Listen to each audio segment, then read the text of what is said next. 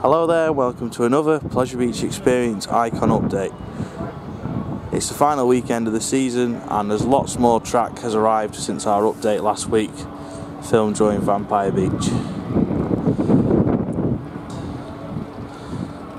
Track's looking excellent, I'm sure there'll be more deliveries on Monday. Construction's really going to start on Monday on 6th of November. The track and supports are going to fly up so hopefully we'll be able to get some out of season updates but for now here's the track and the car park we'll go and take a look inside the park and see what work's been done in the last few days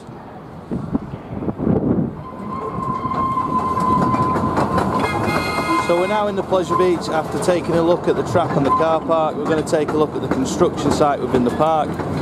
Since my last visit they've done more of the station work, they've put more of the cladding up on the side.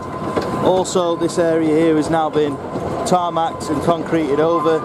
I still think the queue is going to run along here and into the station, but that's unconfirmed and just a prediction of mine. There's still no vertical construction on site, however it will be starting next week once the Pleasure Beach is closed.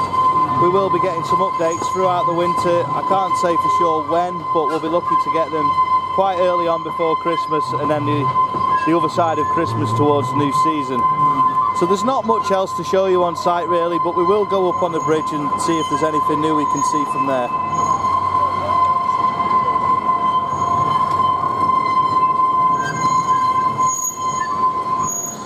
So we're now out at the Pleasure Beach and in the Big Blue Hotel for a little bit of a warm-up.